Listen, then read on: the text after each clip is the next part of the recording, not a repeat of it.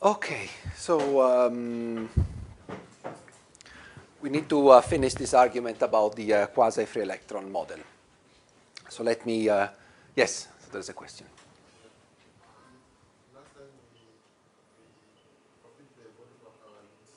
Yes.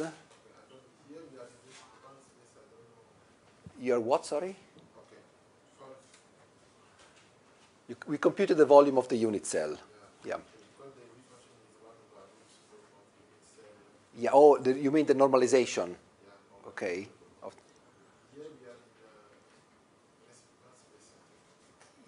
Yeah, the reciprocal space. uh, Can you speak a bit louder, please? Uh, We are in reciprocal space, uh, yes. Um, we, we carried out integrals in real space last time, right? When we normalized the wave function, we were carrying out integrals in real space, not in reciprocal space. Are you talking about the normalization of the wave function? When we normalize the wave function, um, the normalization was carried out in real space, uh, right? It's the integral. Remember, k is a quantum number, it's a label. Uh, psi is a function of r, and there are infinitely many functions of r uh, as a function of k, okay, for different k's. But the normalization is defined for each wave function, so this is uh, carried out in real space. So what we, uh, we have to do, we, we introduced uh, this prescription for the normalization in which uh, the integral is carried out over the unit cell. And we said that this has to be 1. And we also argued that this was not a problem because uh, even though psi is not periodic, so in principle, integral over the unit cell wouldn't make too much sense because it depends which unit cell you choose, for example, if it's not periodic. We argue that the square modulus of psi is periodic. Okay, so carrying out the integral over the unit cell is the same whatever unit cell you choose because it's the function is periodic. Okay, so that's the argument we use to uh, use this convention. Okay. Why do you want to a Brillouin zone? We are integrating over space here, over real space. and this is the wave function defined in R3, the real space. There are many psi's for each one of uh, the values of k's in, in, in value values of k in the Brillouin zone. So this is defined for k's belonging to the Brillouin zone, but the function is a function of real space. So it's defined in real space, the function. So this is the integral over the unit cell, not over the uh, Brillouin zone. Does this answer your, my, your okay? Yes.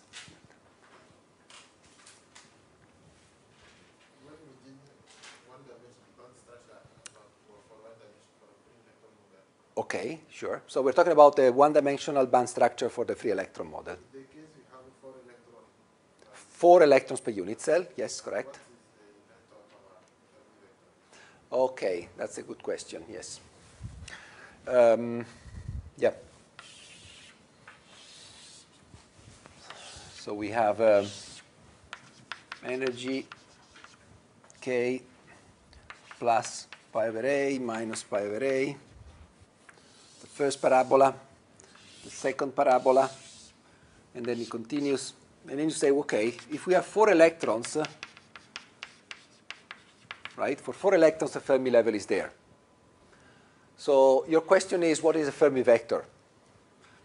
Well, in this particular, um, let's say, notation, uh, convention, the Fermi vector is zero, because this is the point where the uh, Fermi, uh, Fermi level crosses the, um, the band structure, the value of k for which uh, the, the, the Fermi level crosses the band structure.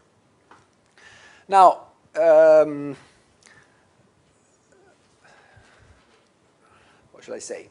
Um, we, this is the case, of course, uh, if we assume that there is an underlying lattice uh, uh, with periodicity A, uh, and so on and so forth. I mean, in principle, you can forget about the underlying lattice and treat a free electron gas just purely as a free electron gas without even introducing an underlying lattice. And of course, in that case, uh, the, uh, the values of the energies, uh, you don't classify the values of the energy in terms of uh, the Brillouin zone K, but you classify them according to your Q, like a free electron wave. And then you may argue that the correct value of the Fermi vector is actually this one. Okay? So I just want to warn you that there are two possible uh, ways in which you can see the band structure of a free electron system. You can see the, free the band structure of a free electron system assuming that there is an underlying lattice. This is the picture we followed. And it, we followed it because uh, it is extremely important to use this picture if you want to then introduce perturbation to the free electron model. So in this picture, Kf is zero. No question about it. You may, however, wish to keep going with the uh, standard free electron picture, forgetting about the existence of a lattice, forgetting about the existence of uh, the Brillouin zone. And in that case, uh, the parabola is a parabola that extends from minus infinity to plus infinity. And therefore, the value of the Fermi vector is, is, is would be this one here, because that's the point in which you stop filling your, uh, your electrons. In our notation, these parabolas are refolded inside the Brillouin zone, and uh, therefore the Kf is, is zero. So it depends. It depends, depending on your uh, on the on the on the um, on the kind of uh, the convention you want to choose to describe your your band structure. I have to say that. Um, uh, the, the, the, this convention here holds only when you're dealing with a purely free electron system. As soon as you introduce any small perturbation, you introduce the presence of a lattice, uh, this picture doesn't hold any longer. So you have to use this picture. So since we're dealing with solid-state physics where the band structures are never purely free electron-like, uh, I personally prefer to use this one because uh, it's, it's, I mean, you'll never actually have uh, uh, a situation in a real system where the kf is longer than, is larger than the size of the Brillouin zone. People might argue, well, how can you have a, a Fermi vector which is outside the Brillouin zone? This, this, is not possible because our band structures are defined within the Brillouin zone. So, um, having said this, some people might still use the free electron picture to define the Fermi, the Fermi vector. Okay? So, in, in our classes, uh, uh, if we need to define something like that, I'll try to clarify it, uh, which one I mean. Hmm? Actually, I will always use this, this notation with kf equal to 0 in this particular case. By the way, same for any kind of filling, even if the Fermi vector is, the Fermi level is here, right? Fermi level could be either this one or it could be this one, depending on whether you work with the uh, zone or you work in an extended zone. I personally prefer to use the Brillouin zone picture because this is more consistent with uh, the realistic system. Any more questions? Okay, is that okay?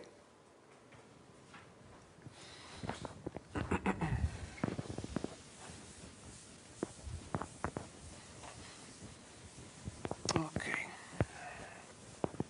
So let me uh, summarize quickly where we got last time. So last time we, uh, we were trying to solve this uh, quasi free electron model.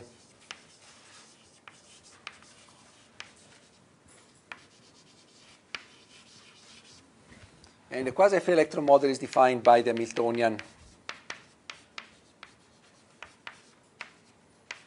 plus something that we um, actually we put a minus here, v bar cosine of 2 pi over a r in one dimension at least, okay? So we're going to just do the example in one dimension. And, uh, and the assumption was that v was small. Small enough that we can treat this term as a perturbation over the free electron solutions.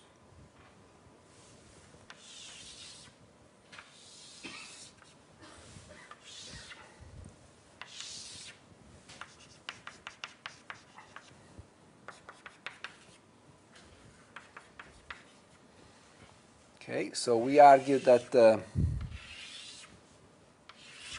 on top of the free electron solutions, which are the unperturbed free electrons, the presence of a perturbation was causing almost nothing outside uh, the point where there is degeneracy, because outside the points where there is degeneracy, the perturbation didn't do anything to first order perturbation theory, only second order perturbation theory was, uh, was there. While where there was uh, degeneracy, we argued that uh, this uh, perturbation was split in the degeneracy to first order and was giving rise to two states out of this uh, twofold degeneracy, which would continuously merge into the original states, uh, the unperturbed states. And of course, uh, because of k minus k symmetry, the same must happen on the other side. So the actual band structure in the presence of this uh, small perturbation becomes uh, something like that.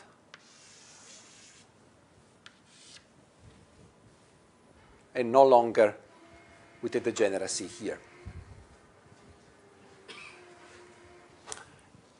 And with uh, a splitting here, which we, which we calculated to be equal to twice the value of the uh, strength of the perturbing potential. We calculated, you remember, this 2 by 2 matrix, and we solved the problem exactly at this uh, point. And we found that this is, uh, this is um,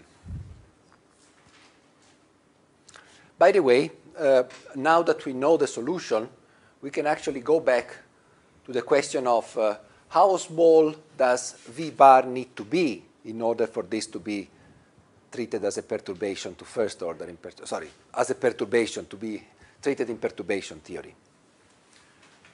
Okay? Sorry?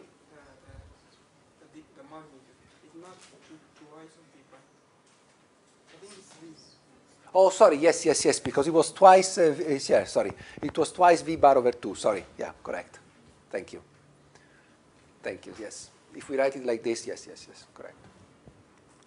So the question now we want to answer, to answer is, uh, uh, in order for all this theory to work, that is, in order for this object to be a small perturbation over the free electron model, we didn't discuss how small we wanted V bar to be. Now we are in a position to do it. So we do it, uh, if you wish, a posteriori, after we've solved the problem. We go back and we try to determine how small does V bar need to be in order for perturbation theory to, uh, to be effective, to, be, to actually work the way it worked. So we, we use perturbation theory to first order, for example, at the generic point k. Hmm? And we said that uh, we can use perturbation theory, for example, here, under the assumption that the strength of the perturbing potential was small with respect to what? What is the standard say, criterion that you use in order to determine whether a perturbation is small in perturbation theory. You compare the strength of the perturbing potential, say V bar, to what?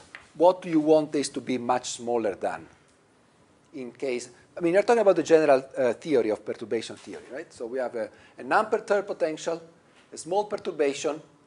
When can we claim that V bar is small enough that we can use perturbation theory? What is the condition that V bar has to satisfy or the strength of the perturbed potential has to satisfy in order to be treated as a perturbation with respect to an unperturbed potential?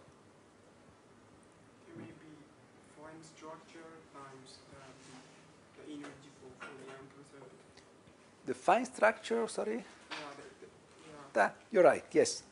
Can you elaborate a bit more? What is the criterion?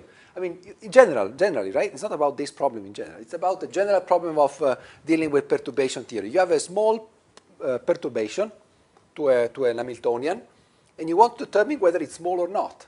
What do you look at? It should be small compared to the unperturbed. What, do, what unperturbed? Of what? Yes? The energy level, the difference between the energy levels, okay? So this is much smaller with respect to differences uh, now I'm writing using standard notation, right? Uh, between any pair of energy level uh, of the unperturbed uh, Hamiltonian, differences of energy levels. Mm? Of course, with the exception of those energy levels which are degenerate or whose difference is less than this, in which cases you use perturbation theory to first order, and you solve the uh, n by n problem within that degenerate manifold. Okay, but the general condition for this to be uh, valid is that uh, for, say, a very large set of uh, energy differences, this energy difference is large. For all the other ones, you can treat them in together as a degenerate manifold, but there must be a large number of EI, EJs for which the difference is, uh, all the other ones, let's say, for which uh, this difference must be large. Now, again, suppose we're at this K. The unperturbed eigenvalues were this one, this one, and whatever. Hmm? So what we want in practice to, to happen is that V bar is much smaller than, well, this energy difference, for example. But of course, this energy difference is, is different, uh, I mean, different places of the band structure. We don't, of course, want to, we don't want this to be valid everywhere, right? We, for example, here, it's clearly not valid when they become degenerate. In fact, that's where we use perturbation theory to first order to solve the problem. But everywhere else, we want it to be small.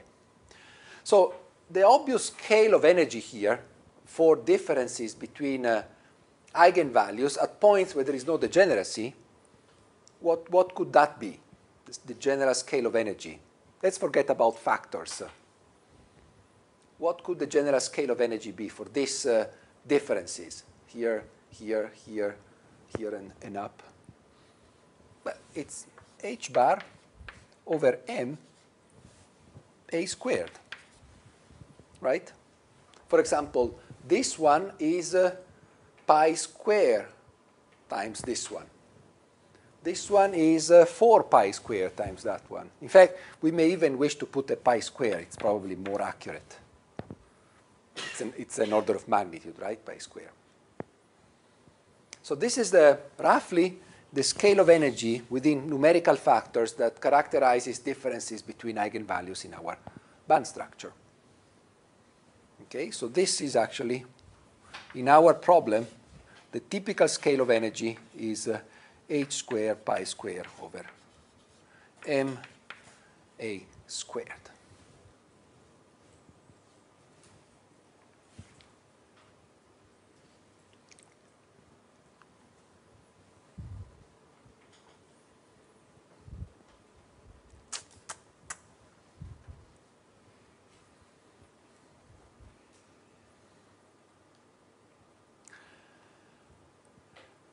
Hmm?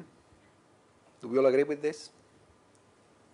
So that's the typical scale of energy of energy differences in the free electron model with some numerical factors, 1, 4, uh, pi, uh, whatever, square root 2, or whatever you want. So we want the strength of this to be much smaller than this scale of energy, of course, except at those points where we are going to treat this as a, as a, as a degeneracy. Now, just as a uh, very qualitative uh, uh, discussion. Is this condition actually valid if V is the strength of the potential is something more realistic than this one? For example, we, our past examples of an external potential were the Coulomb potential, right? We had this Coulomb potential which we approximated with this uh, cosine, but clearly this is an approximation. We actually argued that this approximation works well because of screening. But let's take the extreme. I mean, let's take a, a completely unscreened uh, Coulomb potential. So let's assume that potential is, uh, uh, is, uh, is um, what we, for example, used at the very beginning of our, so series of Coulomb potentials centered at the different sites. I'm just I mean, making some very qualitative arguments now. Well, it's difficult to say, to claim whether this potential is uh, very much smaller than this one in, in that particular case. I mean, in the case of a cosine, it's easy because the, this potential has a maximum strength of V bar. But for a Coulomb potential, the Coulomb potential uh, is arbitrarily large, in principle, arbitrarily large. It can diverge to minus, uh, to minus infinity, right? So it's actually never true that the potential is always smaller than, than, uh, than the differences between the energy. It depends how you evaluate the potential. In fact, the correct uh, exercise to do is not to take uh, the generic strength of the potential, but to take expectation values of the external potential on any pair of unperturbed states. Mm, If you go back to your uh, perturbation theory um, criteria, you probably remember that uh, here we are actually writing something not fully correct. We should be calculating expectation values of this potential with respect to all the possible pairs of unperturbed states. And that is the criterion that gives us whether the potential is small enough or not. So here we're just using a generic uh, strength uh, by using the, uh, the, the constant in front here. Certainly we would be in trouble for the Coulomb potential. The Coulomb potential, we would have to calculate the expectation values because the potential diverges in some points. So clearly this condition is never satisfied, or at least is not satisfied with, at the points where it diverges. Yet, I mean, um, we, let's introduce a scale of energy for the Coulomb potential. We are not certainly interested in the peculiarity of this divergence. The divergence is just uh, a single point and is not really going to do any particular harm to the problem. We know it's a Coulomb potential, so we know it's something of the order of E squared. And let's introduce just a characteristic length here. So I'm now trying to argue what is the strength of the Coulomb potential as a number. Mm. So it's certainly E squared, and the typical uh, length of the system, the only length actually, is A here. So let me just define the strength of the Coulomb potential as E squared over A. Mm. It's the only way I can construct uh, something similar to a Coulomb potential which, with the constants that I have available. So if it's not this, it's going to be a numerical factor times that, the real strength of the Coulomb potential for uh, instead of if instead of using this, I'm using the, the, the full Coulomb potential. I hope you understand that I'm really going to make a, I'm, I'm following a very qualitative argument here. I'm just trying to want to uh, somehow give you a hand waving idea of uh, whether I can or cannot apply this kind of theory in general, not just to a small, not just to uh, this particular um, kind of potential, but whether in general, if I do, if I deal with a Coulomb potential, this term is actually going to be much smaller than the kinetic energy term. So the question then becomes, is this term much bigger than this one or not? Right, in a solid. So is it true? How can I compare h squared over m a squared pi squared with e squared over a? Is this much bigger than this one? Is this much bigger than this one? Is the opposite? I mean, what, what, what, uh, what can we say about it?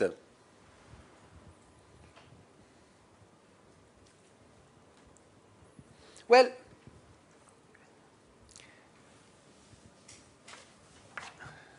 if I actually compare properly and I bring A to the other side here, the actual comparison is whether A, hmm, if I bring it there, is uh, how does A compare with, uh, well, let me put actually, uh, let me assume that, let me check whether this is much bigger than that, okay? So to do something concrete. Checking whether this is much bigger than that is the same as checking whether A is much smaller, I'm bringing A to the other side, is much smaller than uh, m e squared, pi squared. Right? But this one, it's a Bohr radius. So here we're talking about something which is 10 times the Bohr radius. Okay? Now the Bohr radius is half an angstrom, so 10 times the Bohr radius is uh, 5 angstroms. That's more or less the distances between atoms in solids. Hmm? 3, 4, 5, 2.5, I mean, we are in that, in that range. So what I'm trying to argue now is that uh, if I use the generic strength of the Coulomb potential, we're actually in the situation in which the potential has the same strength as the kinetic energy, unfortunately, for a large class of systems. So this condition does not hold because A is of the order of uh, 10 times the, uh, 5 times, 4 times, 10 times the, uh, the Bohr radius. So in practice, for a realistic system, if I consider the pure Coulomb potential, the kinetic energy has more or less the same strength as the potential energy in my problem. So I cannot, in principle, use perturbation theory. However, and now we go back to the discussion we made at the very beginning of uh, our free, uh, free electron model picture, there are systems for which the potential seen by the electrons uh, is much weaker than the Coulomb potential because of screening. Because the Coulomb potential, due to the uh, nuclei, is almost completely screened by the uh, fact that the electrons rearrange. Hmm? And therefore, the final result is something which is uh, much, much weaker than the original Coulomb potential because of the fact that the electrons, all the other n minus 1 electrons, uh, screen the presence of a nucleus, uh, I mean, seen by each single electron. So each single electron sees the nucleus, but it also sees all the others, the other n minus 1 electrons. And these n minus 1 electrons uh, uh, go to places, are attracted by the nuclei, and therefore uh, reduce uh, the charge of the nucleus, the effective charge of the nucleus seen by each other electron.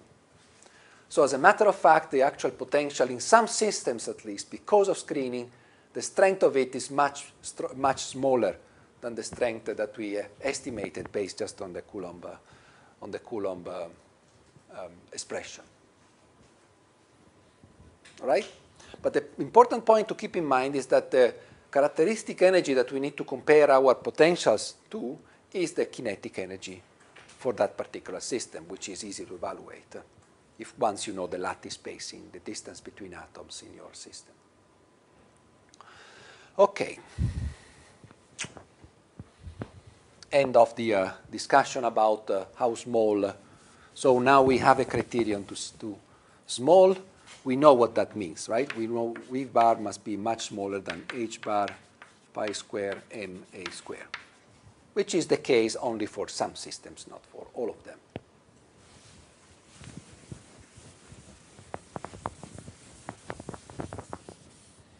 But there are systems for which uh, this kind of approach uh, is actually quite, uh, quite uh, valid. I mean, you can, you can actually use it, and it gives a pretty good description of the band structure for some systems. There are systems, in fact, for which uh, uh not only this approach is valid, but uh, the fact that here, I mean, where the difference between the free electron model and the quasi-free electron model, which is primarily here, these are the two regions where the two models differ, is actually almost irrelevant. Suppose you have a system with only one electron per cell. One electron per cell, you're supposed to fill only half. Right? Your Fermi level is here. So your field states will be here. Now you clearly see that in this particular situation, one electron per cell, the fact that here there is a splitting doesn't really affect at least the field states, or it affects them only to second order in perturbation theory. Hmm? So the, the class of materials with one electron per unit cell and for which this is a decent approximation behave almost like free electrons. Because even if this is not, say, even if the perturbation becomes, uh, say, important, uh, like the splitting here, the states that are filled are far from the regions where the perturbation is important. It's a very particular case, right? Because as soon as I go to two or three electrons per cell, I start filling the bands in such a way that this becomes filled, right? So it becomes important to, uh, to know the details of V bar, V bar here. If I'm below this point, I don't even need to know V bar. I can forget about V bar. The system behaves like a free electron system, even if V bar becomes relevant to discuss the band structure. Because those points are located at k points where perturbation theory to first order gives me zero. And only perturbation theory to second order becomes, becomes relevant. So one electron per cell is a case in which not only uh, I can typically work with perturbation theory, but even if the perturbation is not that small, the fact that the, my relevant electrons are here implies that I can uh, essentially forget about the perturbation. In fact, if you take all the elements of the first column of periodic table, lithium, potassium, uh, sodium, uh, uh rubidium, hmm, they all behave almost like, I mean, uh, very, I mean, differences between the free electron model and the behavior of electrons in those systems are typically small, and they're treated like perturbations of second order in perturbation theory. Mm? But we need to be along the first column of the periodic table, where the number of electrons, of valence electrons per cell is uh, 1. Mm? So it's very, I mean, particular case, but it's a case in which uh, the theory, the free electron theory actually, not only the quasi-free electron theory, but the free electron theory works pretty well. Okay, so we are in the first column here. So we are uh, lithium, uh, whatever, potassium, uh, sodium, uh, cesium, rubidium, and blah, blah, blah. Well, actually, that's it.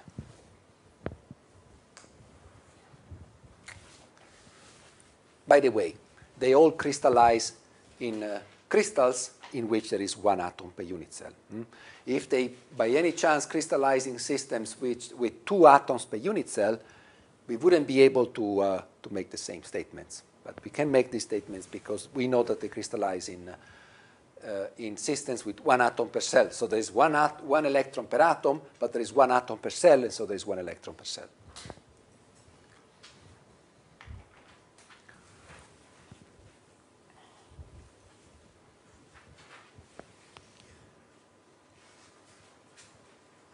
Right. Now, let me consider now two electrons per cell. We go to the second column of periodic table. Magnesium, uh, beryllium, uh, calcium, barium, and all these um, um, alkaline earth materials. Mm. Uh, they almost all of them crystallize in structures with one atom per unit cell. Some of them take the HCP structure, but in general, I mean, you can say that uh, they crystallize in structures with one atom per unit cell. So we have two electrons per unit cell in those systems. Now, what would you expect out of uh, this consideration? Well, suppose, of course, that the, free the quasi-free electron model works for these systems. If you have two electrons per cell, you fill completely the first band, and that's it. And you're done. So the Fermi level, whatever that means, is uh, here. And there is a finite gap of excitation between uh, the last occupied state and the first unoccupied state. There is an energy gap given by V bar. Hmm? So if I now have two electrons per cell, I'm here now. So this is the Fermi energy for two electrons per cell, right?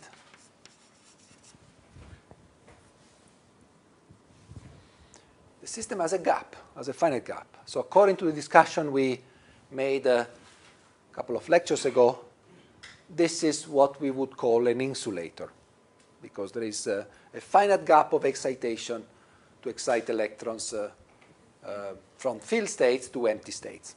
For anyone, by the way, right? Because even if I take an electron that stays here, uh, all the other states are filled. So the first excitation is actually here. Or, I mean, or I can go up. So any excitation has a finite energy. There are no excitations with vanishingly small energy in this problem. So in principle, systems like that uh, should not be metallic, should not conduct electricity. We'll see later on why, again, the fact that there is a zero gap uh, implies conductivity. But in general, we already define systems with zero gap as metals and systems with finite gap as insulators. So we could, in principle, conclude, if this picture was correct, that uh, this is the, uh, the system should be insulator. In fact, unfortunately, if you take uh, pure magnesium, pure calcium, pure barium, uh, pure uh, beryllium. No, it's an insulator, but um, uh, beryllium is the only one. All the other ones are metallic, behave like if they were not really free electrons, but uh, they behave like good metals. They conduct electricity. So what's happening? What's wrong with this uh, picture? Well, of course, you may argue the quasi-free electron model perhaps doesn't work for these systems. This is actually not true. The quasi-free electron model works not so badly for these systems. What's, what's wrong with respect to our considerations is that these systems are three-dimensional systems, not just one-dimensional systems. Mm? So let's try to imagine what happens in three dimensions now, okay, or in two dimensions at least. Okay, so here we have, uh, instead of having a single parabola in one dimension, we have a parabola in two dimensions. Hmm? We have at the edges of the Brillouin zone, at the faces of the Brillouin zone, instead of having just at the point, we are going to have at the edges of the Brillouin zone, we have these gaps that open around, right? You are in two dimensions now. So you have, a, for example, a two-dimensional Brillouin zone here, and you have gaps opening at the uh, border, at the edge of the Brillouin zone. But the way this window opens may not be necessarily the same. Suppose that the Brillouin zone is longer in this direction, for example, than in this one. The parabola here would go up, up, up until this point, and then there is a gap.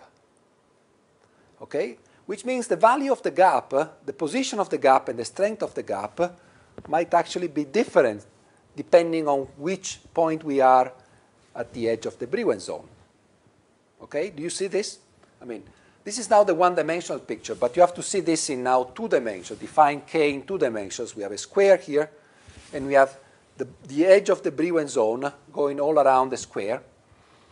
Now, because the, the, parab this, the size of the Brillouin zone is not if it is a square, of course, uh, my argument would, be, would not be completely true. Although it would still be true, because if I move along the diagonal, think along the diagonal of a square, by the time I reach the edge, hmm, I had to go square root 2 times longer than if I go along the uh, Cartesian direction.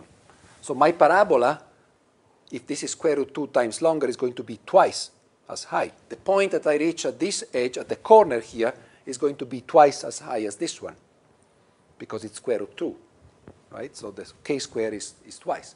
So you immediately see that if I have a two more than one dimensional system, the position of this gap and the height of this gap might change depending on where, whether at different places in the Brillouin zone. So now, suppose I have to fill with two electrons. Mm, if the gap was everywhere at the same height, it would be simple. I just take a, a flat line, flat plane, and I have a gap.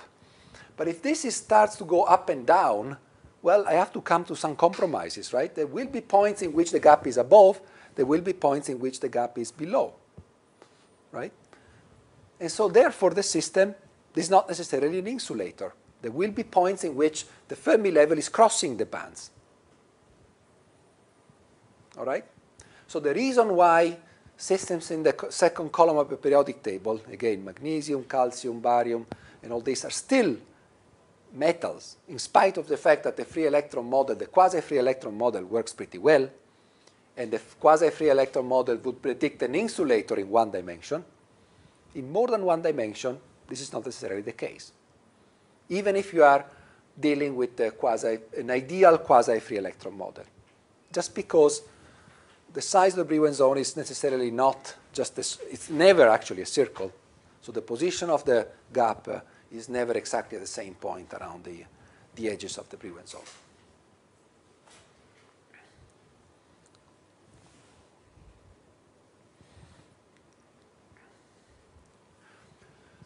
Yes. what if uh, we consider the perturbation in the second uh, Fermi vector? In second order in perturbation? Yeah. Oh, oh, in here? Yeah. Oh, okay, that's going to be your homework. Okay. Okay. we'll Okay. have, All right? we'll discuss it next time if you wish. It's going to be your homework. Um, all right. Let's see. Um, yes, that's the last thing I wanted to mention about this uh, quasi-free electron model.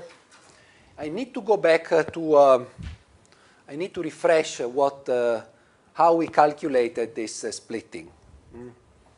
Uh, let me, uh, let me refresh. Uh, so we had two wave functions.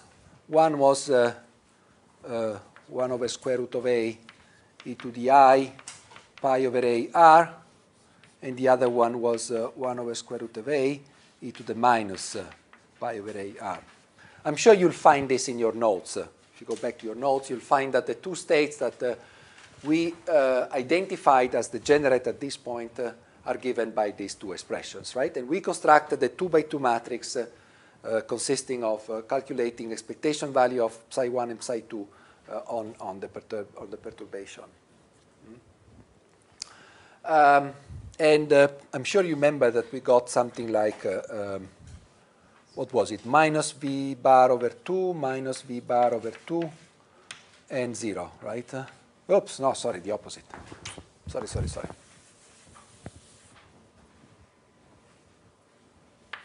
0, 0, minus v bar over 2, minus v bar over 2. This was a 2 by 2 matrix that we identified as... Um,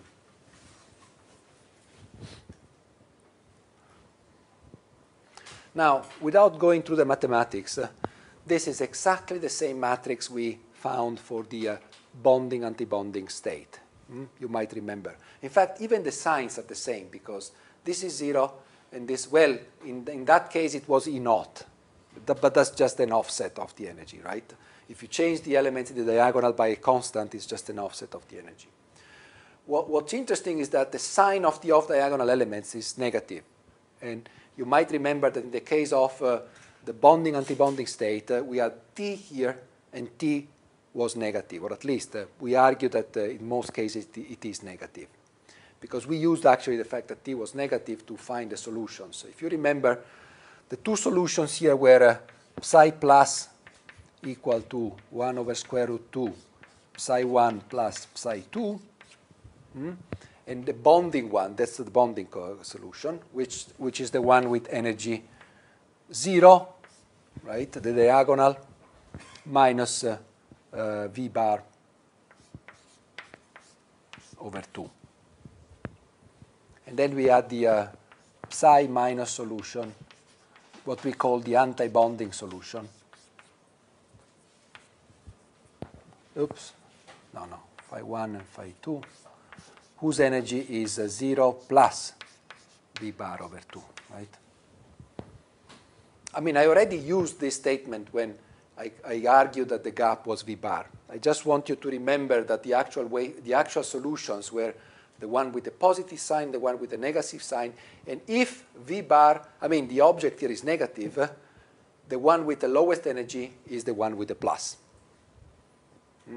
You simply need to go back. It's just the mathematics. It's nothing to do with the physics here. We're just solving this two by two matrix with a negative uh, element in the off diagonal. You go back to your notes and you'll find that the solutions are given by, by this. In that, in that case, it was the two uh, atomic orbitals in site 1 and site 2. Here we have two different orbitals, but the mathematics is exactly the same.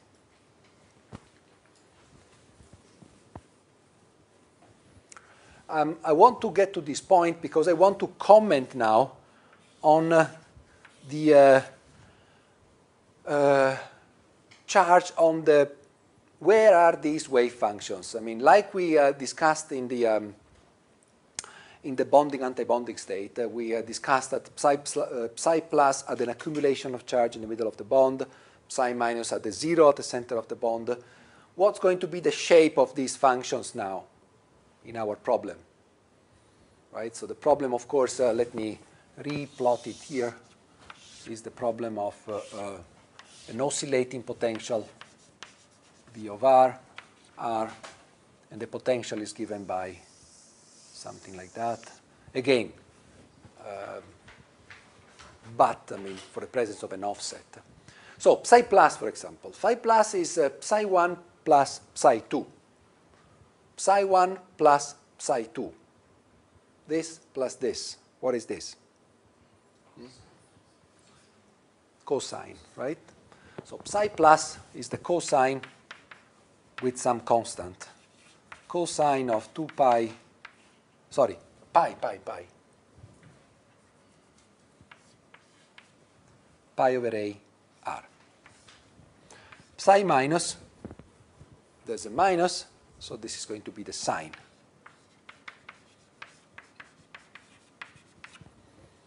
Now, what I'm interested in is actually not really just the wave function, but it's the square modulus of the wave function.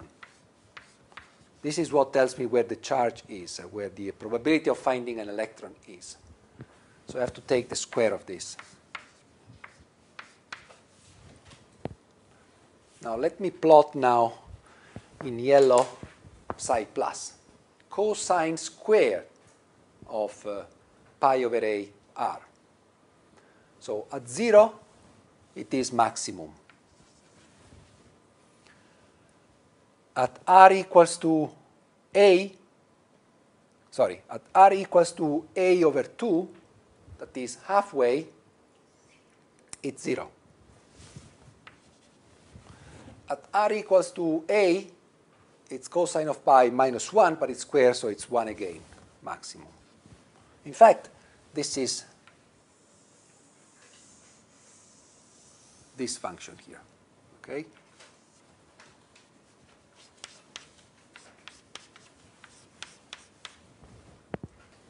So this is psi plus. Let me plot uh, psi minus sine squared. So it starts with a 0. Maximum at r equals to a over 2, so here, and 0 again. So it's the same, of course, by just translated by, by half a period. So this is psi minus.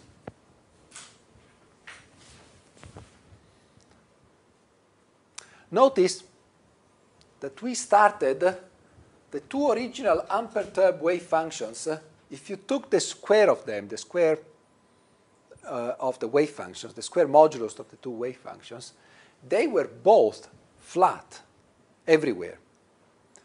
We have built a linear combination of the two, two actually linear combinations, such that the charge is now completely uh, split psi plus is the yellow one, has the maximum at, uh, at these points, and the pink one, psi minus, uh, is instead picked uh, half a period away.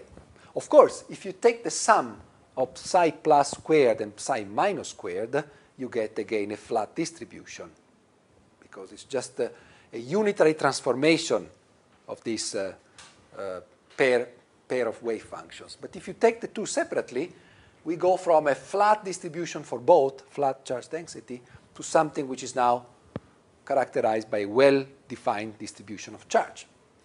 And the distribution of charge is actually interesting because the one that actually has the lowest energy, this one, this one here, by the way, hmm? remember, these two solutions are the two solutions at pi over a here. So we're talking about psi plus as being uh, this solution and psi minus has been this solution, right? Separated by V bar. And psi minus is now located primarily where the dips of the potential are, and vice versa, psi plus, sorry, psi minus, the other one, the one which is higher in energy, is located precisely where the maxima of the potentials of the potential are. Okay? So, what, what is the, um, let's say, the, the final thing to notice here? The presence of the external potential, that is of this corrugation, the white potential here, is such that it is preferable for electrons to sit uh, not just everywhere, but it's preferable for them to sit close to these points because this is the point where the potential is lowest. So obviously, once you build a solution to the problem, the solution with lowest energy is the one which uh, is located primarily where the minimum of the wave function of the potential are. On the other hand, the solution with, uh, with the higher energy is the one located where the maxima of the potentials are. So just a way to visualize uh, something which is probably very obvious to us, uh, that uh, perturbation theory must split the levels in such a way to favor some and disfavor others. And obviously the ones that are favored are the ones that are sitting in posi at positions where, in order to take advantage of the fact that the potential there is, uh, is, uh, is lower.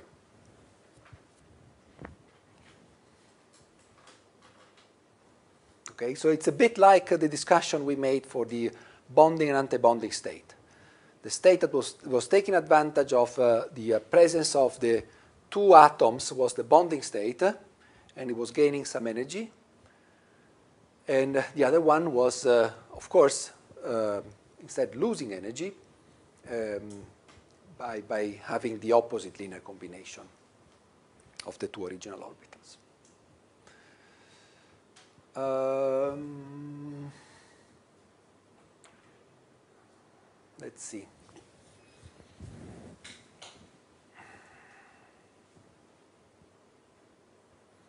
No, I think we, we can uh, stop here as far as the quasi-free electron model is concerned. And now we're going to say something more general about uh, band structure. So is there any question now about, uh, about this? Yeah. How do the electrons uh, screen the potential in this configuration? How do the potentials screen uh, the other electrons? Oh, how does... Okay, okay, fine. Uh, let me discuss. This is interesting, yes. Now, um,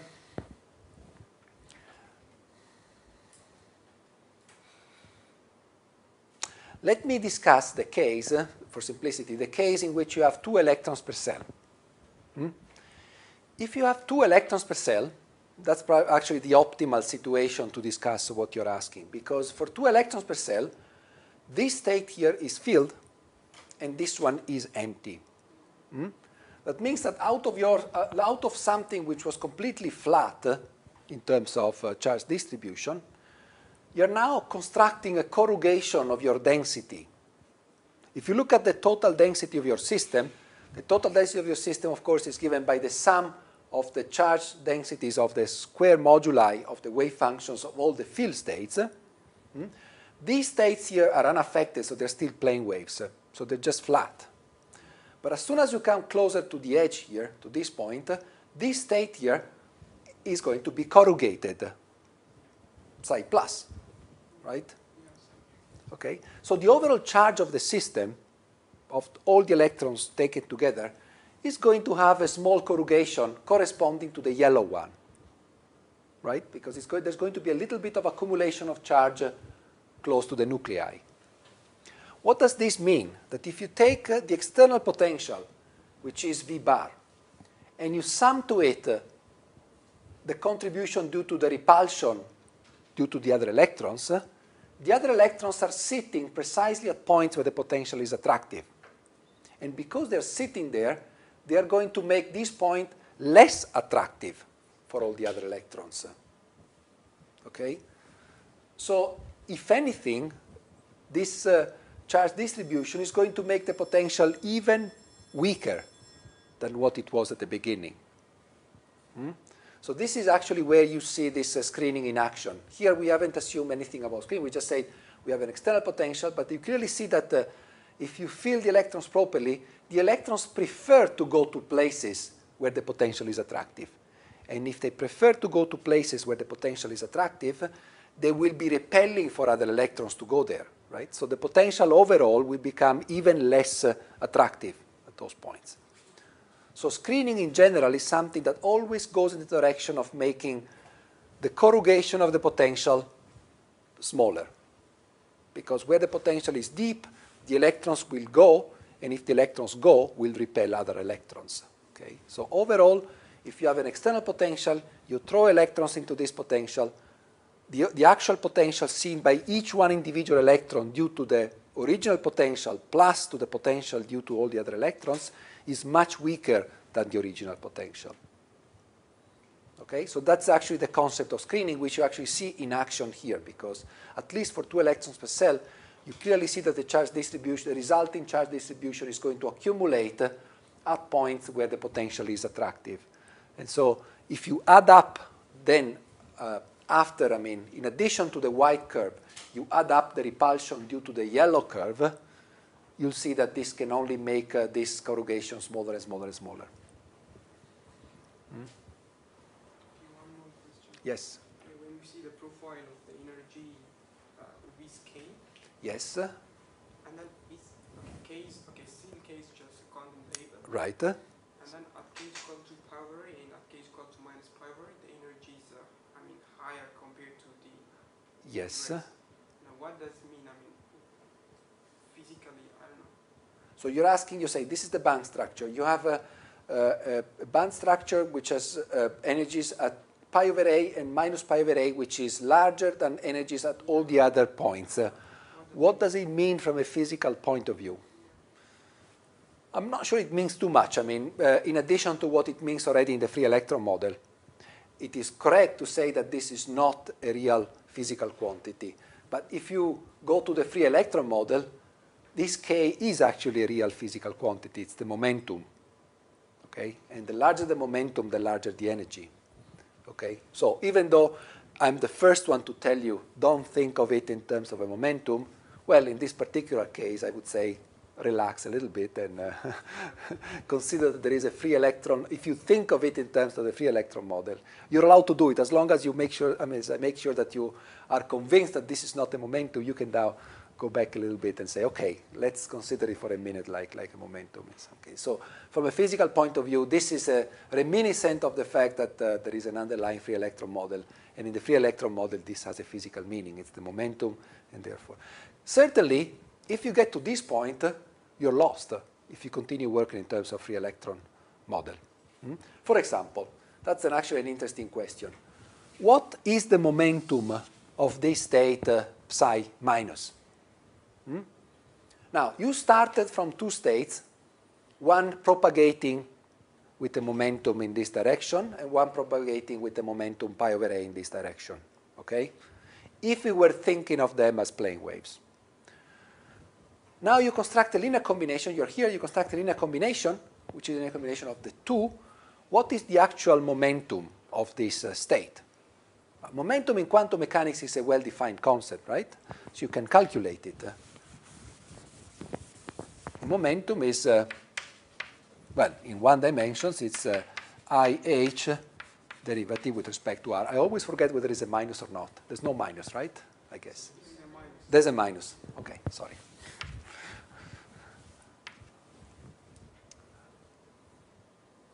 Yeah, but it's enough to do this.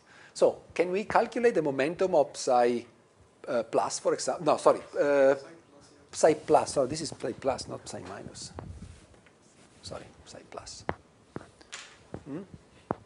Well, it's the momentum of psi 1 plus the momentum of psi 2, right? If I take, do I need to do all the calculation or can you just, uh, hmm? so it's uh, pi over a, well, h bar, h bar pi over a minus h bar pi over a. So this is the momentum of uh, 1 and this is the momentum of uh, 2. If you don't trust me, you just do the calculation. You take the expectation value of this quantity of this uh, object uh, with the pi. There are of course the cross terms when you do the expectation value, but they vanish. You can show that they vanish. So it comes out like this. So the actual momentum is zero. Obviously, right? I mean, we psi plus is the cosine. It's the stationary wave. It's not moving. It's the cosine. So it's a sum of two waves propagating in opposite directions. So the momentum of this function is zero. It carries no momentum physically. So you see, I already found a contradiction with respect to your argument of the free electron waves because I'm here and I was expecting a, a wave with some velocity, with some momentum, and I find something with zero momentum. Has all the momentum transferred to psi minus, perhaps? Yeah, Maybe. That's the sine. Does it change? No. It's just, a, again, the linear combination of two waves uh, with opposite velocities. Sine is also a stationary function. It carries no momentum. You can calculate it, right? It's not probably obvious, but just calculate it. Take this function, take this uh, expectation value with the momentum operator. Trust me, it's a sine, so it's not propagating because it's a combination of two waves going opposite. So the momentum, even of the momentum of psi minus is zero. Okay? So you have transformed a problem in which the wave functions had some definite momentum and therefore some energy, according to a, to a free electron picture, into something which is zero momentum, both here and both here. They stopped suddenly. So you see that you have immediately lost uh, your free electron uh, uh, I mean, picture once you get to that point. I agree with you that if you are far from here, then you can still think in terms of free electrons. But as soon as you get close to this point, everything is completely changed to the extent that the wave functions don't carry any momentum any longer. They just stop. They're just stationary states at that edge.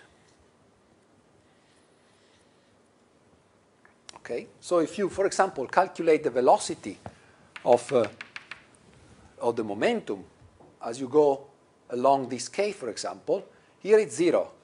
Here it's growing, of course, it's growing linearly with uh, um, when you move away from here. But at some point, you see it decreases again, it goes back to zero. Sorry, I'll, uh, some, that's something I'll probably have a chance to say in a couple of lectures. The velocity of uh, a wave function is proportional to the derivative of the band structure. That's a very powerful and interesting uh, concept that we will uh, elaborate later on. Mm. So without having to calculate all this, uh, you can immediately say if you look at band structure like this, if you want to know what is the momentum of a wave function, you just look at the slope of this uh, of the band structure. The slope of the band structure tells you what is the momentum of, uh, of a particle. So by the time you get to this point, this must be flat because you are the, the thing has to be periodic. So by the time you get it, it's flat and therefore zero momentum.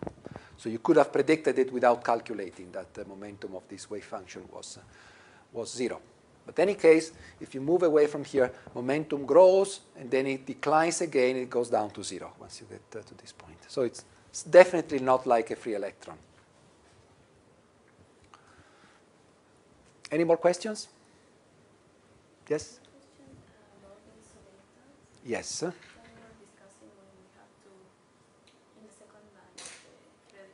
Right. Um, then now for me it becomes a bit difficult to understand how can we define an insulator if we define interrelations. Okay, so the question is, uh, okay, the question is, uh, we were looking for insulators, and for example, in the case of two electrons per cell, we realized that this cannot be an insulator because, or at least, it, it can it can be not a metal, let's say, because it depends on the shape. So what, uh, how do we look for insulators? Now, the first answer to this question is that, uh, well, if the system is a real insulator, very likely this model is not going to work, the free electron model. The free electron model works for systems which are close to metal, to be metallic, because the free electron model is a metallic system. Okay, so the first answer to your question would be, uh, well, you're, certainly starting from the wrong model. If you want to describe an insulator, this is not a good starting point for sure. However, you might still want to use this model, and perhaps, I mean, this model might work for an insulator as long as V bar is sufficiently large. Hmm? If V bar is sufficiently large, suppose V bar is, uh, say, like this. Now, of course, the, the, fact that this is a perturbation is not going to be valid any longer. But let's forget about these details, little details. Assume it's, we get to the end of the story and we have a B bar, which is V bar, which is that large. Now, at this point, whatever you do, if V bar is sufficiently large, the gap is going to be quite robust. So it's going to, even if it fluctuates, I mean, if V bar is sufficiently large, you have a real, a real gap. Mm? But that also tells you that V bar needs to be very large in order for this to, to, to, to yield an insulator. And that already tells you that perhaps your starting model is, was not a good one. Okay. Yes? Yes. We didn't, we say, okay, we didn't consider the degeneracy of uh, minus k and k. Yes. Um, okay. Um, you're right. Yes, that's a good point. You're right. I should have mentioned this. Now, we consider this degeneracy at the edges. okay? Because we actually did consider, at the end of the day, the uh, k minus k, even though we did it in a very sophisticated way, because we actually said that uh, if you're exactly at this point, uh, the other point doesn't exist, because either I include one edge or the other one at the edge of the Brillouin zone. So if I'm actually at the edge, I don't have any degeneracy due to k minus k. Because if I am at the edge, either I take k or I take minus k. I cannot take both. Mm? So that was a, fake degeneracy. But your argument could be correct anywhere else, right? If I'm here, for example, I have another state which is degenerative here. So um, how come I forgot about this degeneracy when I constructed my wave functions? Mm? Now, that actually goes back to uh, the, uh, probably the first uh, uh um, discussion we had when we introduced uh, the, uh, the concept of bands and the concept of h of k, if you remember, and when we introduced this, the perturbation. Uh, I told you that uh, we, we solved the problem originally uh, assuming that k was a good quantum number right, by using our h of k Hamiltonian for a specific k. Then we added the perturbation to this. Now, the perturbation, if it's a good one, has the periodicity of the lattice, okay?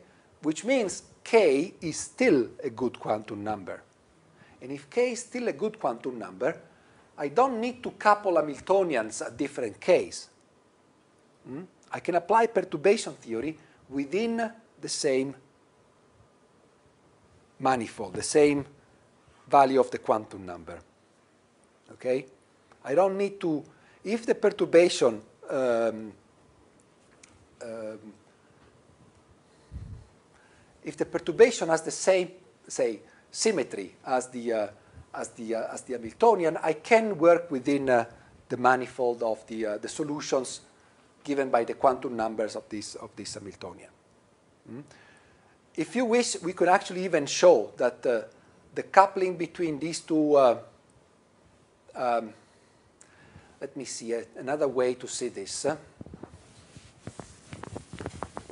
okay. Uh, unfortunately, I need to uh, somehow um, um, forget about the normalization because the normalization is not going to work in this argument. But let me take two, two generic plane waves, one with, uh, say, plus IKR and another one with uh, minus IKR. Okay? Hmm? So, so this is psi 1 and this is psi 2, and they are psi 1 and psi 2, a generic, uh, a generic K with k being a generic one. I want to see what couples them. Mm? So if I want to see what couples them, I need to check what kind of perturbations uh, V of R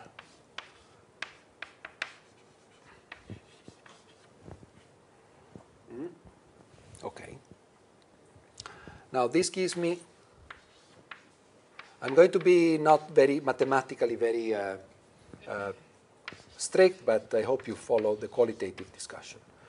So if I want the two plane waves to be coupled with k minus k, which are degenerate, uh, I need to find the potential that gives me a non-zero matrix element between the two, regardless of what the normalization here. This product, this integral must be non-zero in order for them to be coupled. But this, if you, if you notice, is exactly the Fourier transform of V of R. It's V tilde at 2k. By V tilde, I mean the Fourier transform, the Fourier component of uh, V at, uh, say, mm, in reciprocal uh, uh for, for vector 2k in the Fourier transform uh, space, right, in the reciprocal space. So the, the same, this is equivalent to say that this must be different from zero. Now, if you have a periodic object, a periodic potential, uh, the only Fourier components, for example, this one has only one Fourier component, at 2 pi over a.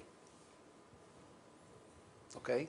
In fact, so the, the, this one has only v bar 2 pi over a different from 0. All the other ones are 0 for a cosine, because the, the, the Fourier transform of a cosine has a single Fourier component. Well, a minus 2 pi over a, of course.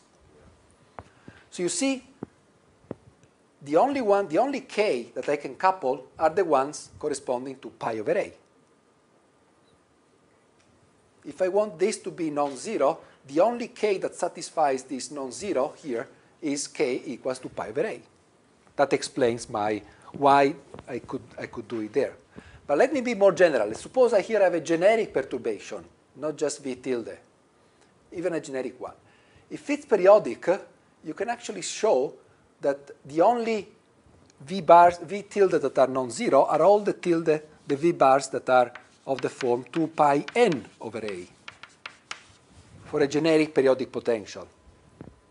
So 2k uh, must be equal to 2 pi n a. That is, k equals to pi n a. But again, k must be in the Brillouin zone. So the only n that satisfies this is n equals to 1. All right?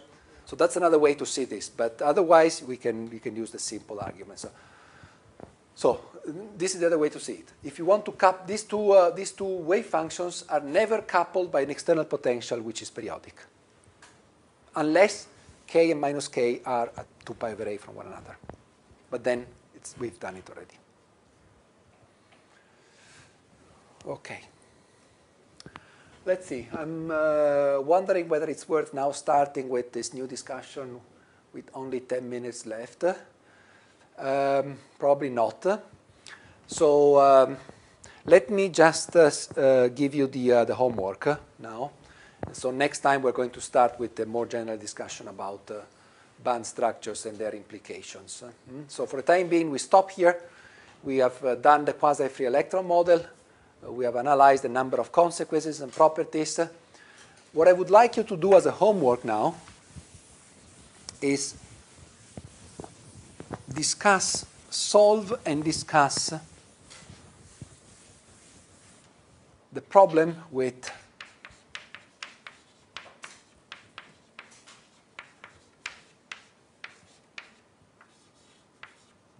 four pi over a r. Okay?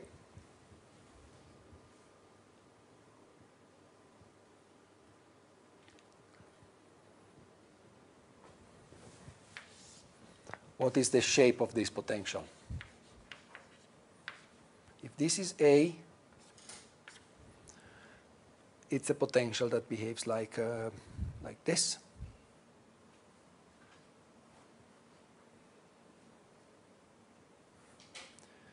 Oof. Uh,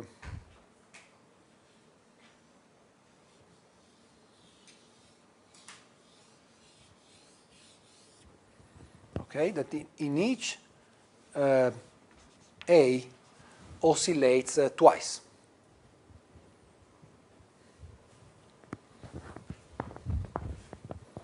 Right? It's 4 pi over A. So there are two oscillations uh, for every A, for every period. It is a periodic potential because it has the periodicity of the lattice of A. It is actually more than that. It has a periodicity which is twice that of the lattice, but that's okay. It has the periodicity of the lattice. We can assume this to be a small perturbation, so we're going to assume that V bar is small in whatever sense uh, we discussed already. And of course, this potential is going to uh, modify the band structure in a different way. So I would like you to uh, discuss how does this potential modify this degeneracy as well as this degeneracy. Okay? So discuss and calculate, of course. so more or less do what we've done here, of course, with the exception of all the final considerations of the wave function. It's just enough for me that you get to the point where you draw qualitatively the band structure. Okay, I don't want you to analyze psi plus and psi minus and all this uh, the things that we discussed today. Discuss uh, how V of R uh, splits degeneracies.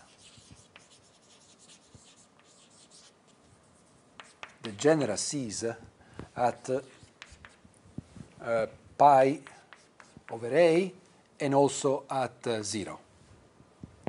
That is this point here.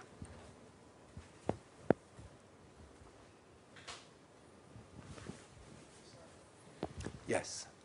And when we write the 4 pi over A, we are saying we have two electrons per unit cell or two atoms. No, actually, I mean, if you wish, you can discuss this. Uh, you can discuss. I mean, when does this perturbation uh, affect your problem or not?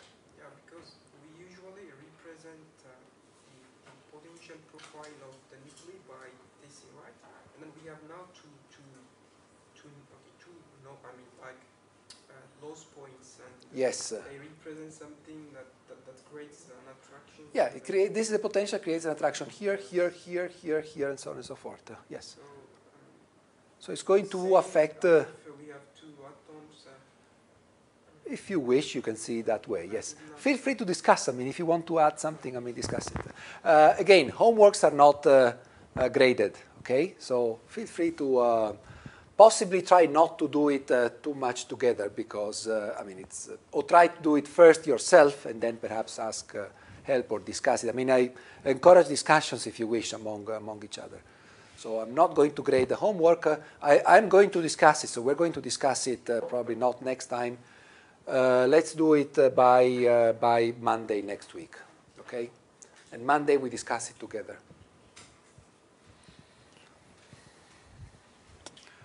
Okay?